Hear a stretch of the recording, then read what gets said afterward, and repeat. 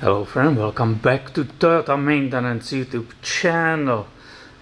I posted a video about this 86 Toyota truck four-wheel drive and everybody is in the comments writing more videos, more videos, more videos. I don't have a time for it, but I want to show you something what you might find helpful. So, but what do you think I did first when I opened the hood and started working on this? Well, of course, this was barely visible. Legend needs to be visible, 22R. So what that means, carbureted version, right? If it was 22RE, it will be fuel injected. This one is carbureted and was having little problem with startup. Well, what do you need to check? Fuel pump and fuel filter. Now, these are the new ones right here. Look at it. Fuel pump, mechanical. We are back in the mechanical times.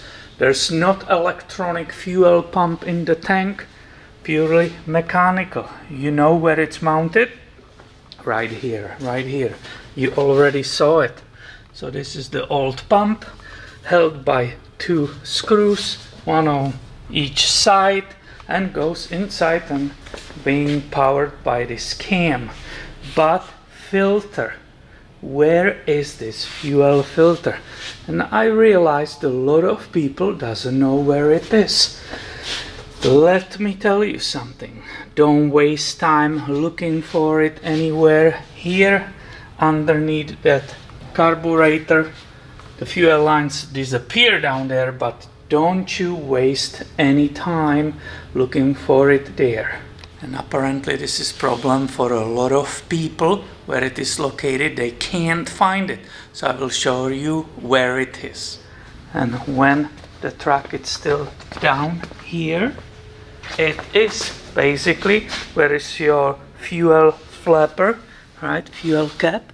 You have to get under and you will find it right here let me put the truck up in the air here is another view really quickly for everybody.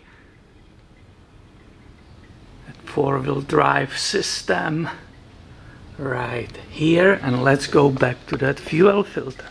So as I said, it'll be easier to show you right here.